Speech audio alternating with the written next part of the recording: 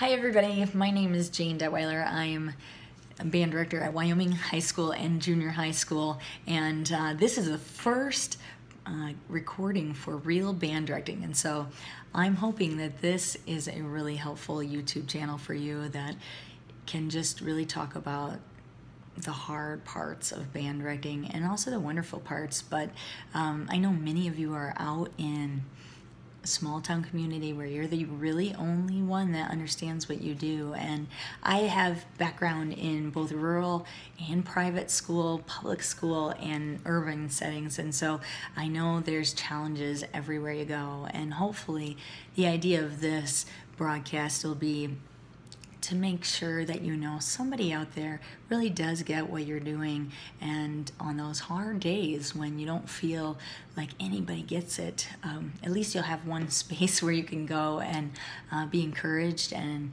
get back on the horse the next day. Because I know sometimes it's really hard to get up and to do those things again and again. Um, you have so much joy when you start uh, and you want to be a teacher and you want to be a music teacher and it's just really exciting but then boy that can wear off the moment a parent calls and with a nasty tone of voice or uh, whatever is going on in your world. And so i've gone through a lot of things over the years uh, in 23 year, years of teaching and i would love to just share some of those things that have helped me and i hope that it's of help to you. So uh, just a couple things before we get started. Um, first, real band directing. Um, in this channel, none of the opinions here are a reflection of Wyoming Public Schools or Lakewood Public Schools or anything like that uh, where I've been teaching. Um, they don't represent any positions from Wyoming or anything like that. Um, all content left here is just strictly my opinion, so it's not the be all end all. This is uh, one person's opinion.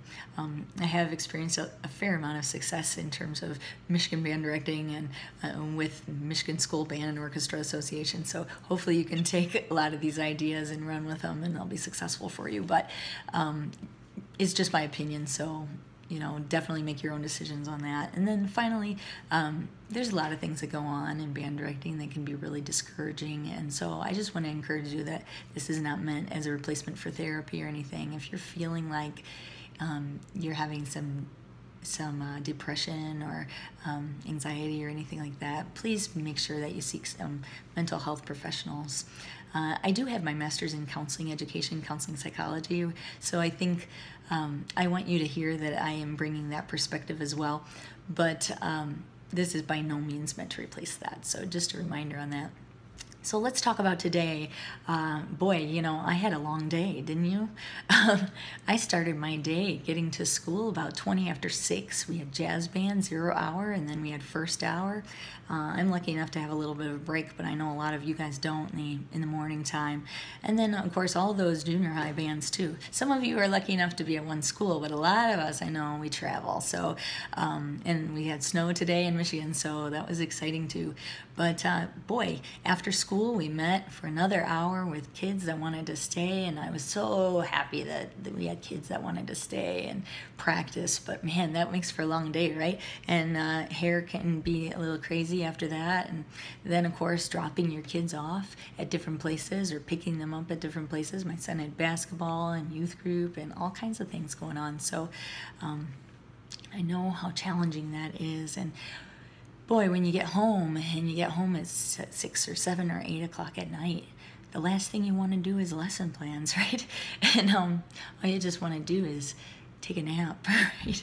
And um, that's understandable because you've worked really, really hard today. And um, so it's important that you take some time off. It's important that you um, sit down and watch the news if you want to do that, or take a nap. Feel free to take a nap. Um, it's okay if you need to put something in the uh, oven, you know, that was frozen um, because that's all of the energy that you have left. Um, it's okay for you to go and um, watch a, a TV show. You don't need to feel guilty because you're watching a TV show instead of doing grades or doing email. Um, it's really good actually to put boundaries around your email and all of the work stuff. Technology allows us to work 24 hours a day, but if you work 24 hours a day, you will totally burn out very, very quickly. And you might not have your family liking you very much. So it's really, really important to put some boundaries around that, whether that's going to school early so you can work early. Some of you have that uh, going for you and you don't mind the early hours. Some of you, it's better to stay till five o'clock. Um, I've had different seasons, honestly, in my life where it's great to stay later or it's great to get home earlier and then work after my kids are in bed. So it kind of just depends where you're at and what you feel good about. But um, what I want to say is you don't have to be stuck doing a certain thing. You don't have to stay at school till you have all of your work done every day because that's never going to happen, let's face it. You will always have more work. You'll always have more people saying they need things than you have time in the day. And so make a list and do your best to check some things off every day and just take a breath and breathe. But when you get home, you get to decide I'm going to work today or I'm not going to work today. And there's no guilt here. So just understand that um, you work really hard, and I appreciate everything you're doing. And those kids that you're impacting each day are going to appreciate it when you are able to go to bed at 10 or 11 o'clock rather than 12 or 1 o'clock. You're going to have more energy, you're going to be able to do more things with them the next day. So um, just take a breath and know that you're doing great things, okay? Um, before I go, I want you to remember one thing that happened today that you loved. Um, I'm going to tell you a couple things from my day. Um, I act super crazy when I play music for my students, and so today, when the kids were coming in, I had um, the Maslanka Symphony Number Four playing, and there was a really crazy uh, double tonguing section of the trumpets playing. And so, of course, that made me want to play Gavorkna fanfare, right? And so I played that for the kids, and um, they were super excited. Remember, your kids will get excited about whatever you're really excited about. So if you're like, oh, I can't believe that. You know what that is? That's double tonguing, okay? And then I was like, would you like to learn that? And so we, on improv, just went over to the board and did a, a quick double tonguing section. So super cheesy and nerdy, right? But I was super I was having so much fun because, you know, those kids were interested and excited about it. Now, beginning band, not so much always, but um, beginning band, um, I teach in a in a very urban uh, district where there's some kids that they've never learned how to be formal in the past, and so um, in this setting, they have to learn how to be formal and um, it just takes a really long time sometimes with our beginners. Now once they've gone through beginning band then they generally know how to do it um, but we're still kind of in the process and they're growing every day. But boy it's challenging you know and there are some kids that really um, will interrupt still and those kinds of things can get under your skin man. And you just want to say squash that right? Squash that and be like ah you know, you can't do that, get out of here, whatever. And um, what I have to keep coming back to is this idea that, you know, you just can't give up. You can't, um, you can't have that last idea. You just have to always keep coming back to the drawing board and saying, you know what, this worked or that worked or another thing worked. Um, and so today I felt like I had a win with the beginners, and and it was this: I just on improv, I said to my students, all right, so someone answered a question well, or they uh, did something that I wanted them to do, like maybe they demonstrated something, maybe they demonstrated legato style or something like that, and they did a good job of it, or maybe they played the mini scale for the class, right? Their first five notes up and down. Well, then I told one of the students, put that student's name on the list. So uh, let's say, for example, Sarah. Let's put Sarah's name on the list.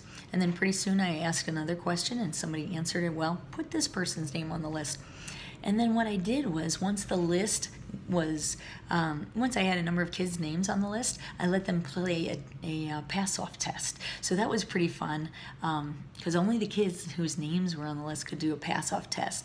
Now you know your kids, and so you can give those kids that work really hard but are kind of quiet. You can just give them opportunities to answer questions by asking them directly, and then they can be on that list. So um, that's an idea that we used today, and it worked really well. Now I don't know if it'll work the rest of the year or if that was just a one timer, but time will tell, right? But don't ever give up.